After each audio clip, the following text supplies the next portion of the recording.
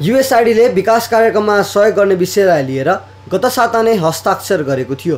Helen Keller International feed the futures and fertilizer project अन्तर्राष्ट्रिय मकै तथा गहुँ अनुसन्धान केन्द्र र पश्चिम नेपालमा दिगो न्यायिक तथा उत्पादनशील जलस्रोत विकास परियोजनालाई यो सहयोग उपलब्ध गराइने जनाएको छ। त्यसै गरी नागरिक समाज आपसी जवाबदेहिता परियोजना एचएचआई तिन सय साठीलाई र जलीय प्राकृतिक स्रोत सुधार सम्बन्धी कार्यक्रम डिएआई ग्लोबललाई पनि यो युएसआइडीले सहयोग उपलब्ध गराउने सम्झौता भएको छ। हेलेन केलर इन्टरनेसनलले गर्दै आएको मातृ तथा शिशु पोषण सुधारको काममा थप सहयोग गर्न पाँच वर्षका लागि छ करोड तिस लाख डलर दिने जनाइएको छ।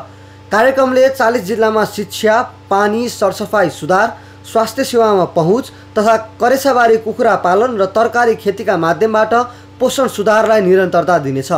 अन्तर्राष्ट्रिय मकै तथा गहुँ अनुसन्धान केन्द्रलाई पच्चिस जिल्लाका किसानलाई मल तथा बिउमा सघाउन एक करोड पचास लाख डलर पश्चिम नेपालमा दिगो न्यायिक तथा उत्पादनशील जलस्रोत विकास परियोजनालाई कर्णाली तथा महाकाली नदी क्षेत्रमा बसोबास गर्ने समुदायहरूलाई समग्र समुदायलाई नै लाभ पुग्ने गरी नदी तथा तलाउको व्यवस्थापन गर्न पच्चिस लाख डलर दिने जानकारी पनि दिएको छ।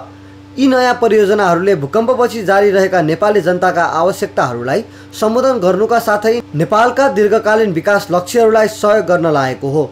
युएसआइडी सन् दुई हजार चौधदेखि दुई हजार उन्नाइससम्म नेपालका विभिन्न परियोजनाका लागि चौवालिस करोड सत्तरी लाख डलर बराबरको सहायता उपलब्ध गराउनेछ।